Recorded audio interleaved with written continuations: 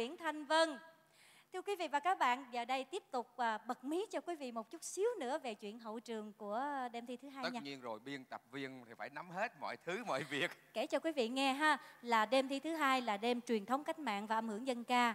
Thì ngẫu nhiên là có hai à, cô thí sinh của cùng một bảng C là Ngọc Mỹ với lại à, Mai Hương đều chọn đúng một bài hát tâm huyết là bài điệp khúc tình yêu của Trần Tiến để thể hiện. nhớ cái hôn đầu tiên đó phải không Dạ đúng rồi, bởi vì họ cái máu lửa ở trong người họ nó bùng phát rất là mãnh liệt với bài hát này. Dĩ nhiên là không lẽ hai cô thi kế bên nhau mà lại thi cùng một bài hát thì nó ngại quá. Thế là rốt cuộc quý vị cũng đoán được rồi, ai làm em thì bị lỗ hơn một chút, đành phải chọn bài hát khác. Cô chị Mai Hương được giữ lại bài đó. Thế nhưng mà cái cái ngọn lửa điệp khúc tình yêu vẫn còn ngùng ngục ở trong lòng mỗi người. Cho nên khi mà bước vào đêm gala, gala giao lưu ngày hôm nay là ban tổ chức mới vừa nêu ý kiến là, là chọn bài nào cho hai bạn hát. Thế là hai bạn đã chọn ngay hát lại điệp khúc tình yêu mà lần này phải hai cô hát chung mới máu lửa mới được. vậy là hai bài tủ à, của hai người hóa ra gặp nhau thưa quý vị hai ngọn lửa ngọc mỹ mai hương sẽ còn được tiếp sức bởi một vị khách mời đặc biệt mà quý vị hãy vỗ tay thật to và sau đó sẽ biết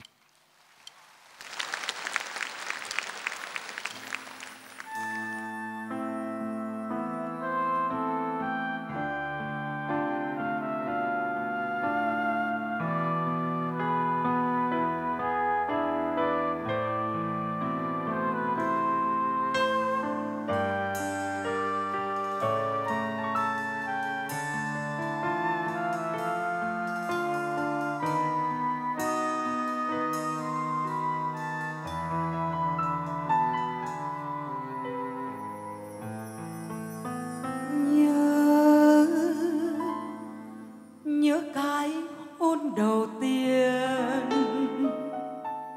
anh chưa dành cho em.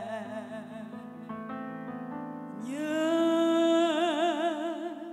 bài tình ca đầu tiên, anh chưa dành cho em. Ôi nhớ tuổi trẻ của chúng ta đã đi qua chiến tranh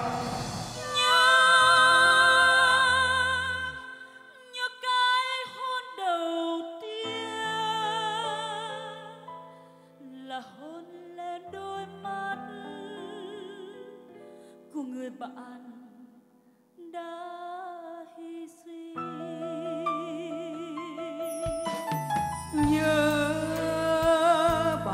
tình ca đầu tiên là hạnh phúc lên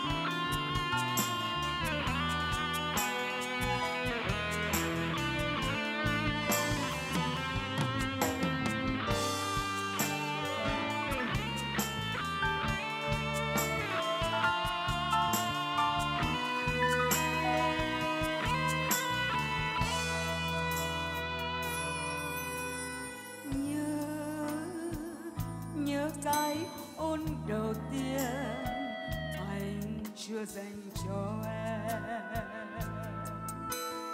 Nhớ bài tình ca đầu tiên anh chưa dành cho em.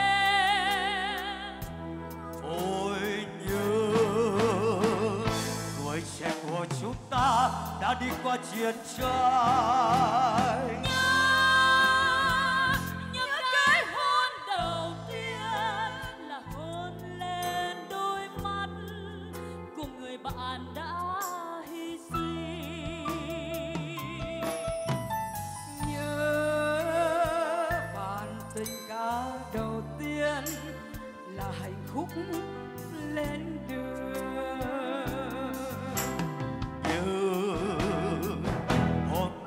Aysaha, ha!